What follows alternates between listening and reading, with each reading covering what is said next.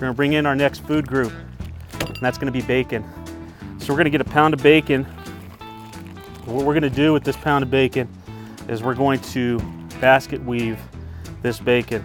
Sounds weird that a grown man's gonna sit here and weave bacon, but when it comes to the finished product, it is well worth it. So what I would do is take out seven strips of bacon. And you want to put them as close together as you can.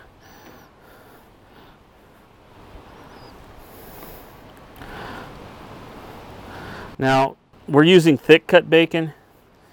You could use any type of bacon you want. You could even use your own bacon if you make your own bacon, which will be a video that we're going to do in the short in the near future as well.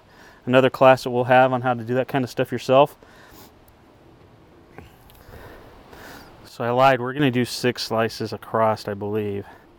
Looking at what I've got here. Yeah.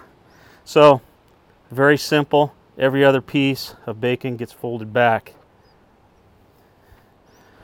And you take that and go right across the top with it. Put those back. If you need to stretch out the bacon, go ahead and do that. And then what we're going to do is every other slice the opposite way. We're going to fold it back and get your next slice. Fold it in.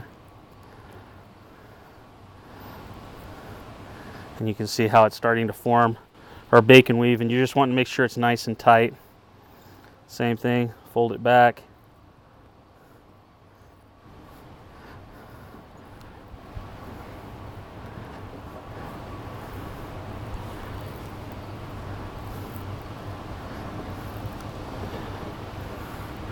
I know this takes a little bit of time, but believe me, when you try this, you're going to be wondering why you didn't think of this before.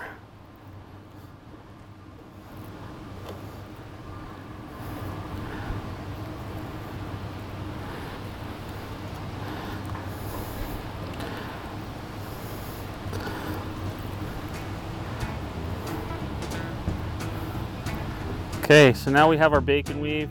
It's nice and tight.